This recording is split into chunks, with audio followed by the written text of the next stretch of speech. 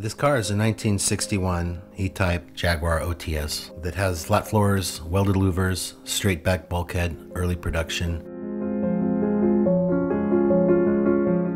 It's covered headlights, of course, 3.8 liter. This uh, particular car has a 5-speed instead of the Moss box, which is a non-synchro in first gear. Paint, we use all the Glasurit sealers. It's a base coat clear coat which is done on a rotisserie.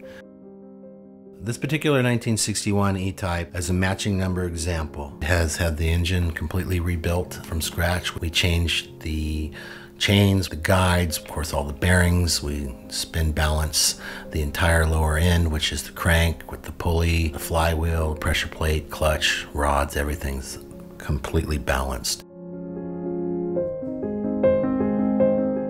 The IRS was completely taken apart. All the suspension was completely taken apart and CAD plated and pieced back together. There's over 65,000 pieces on an E-type in this particular example. Every part was addressed. Every piece, every nut, bolt, and screw on the car was replated and gone back on the car.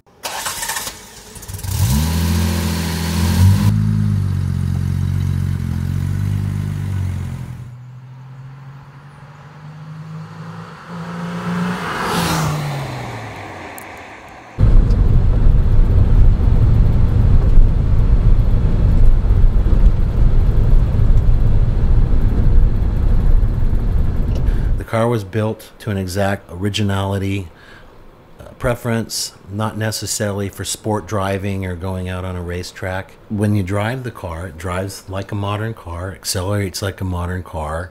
It's a wishbone suspension in the front, independent in the rear, and it's a dream to drive.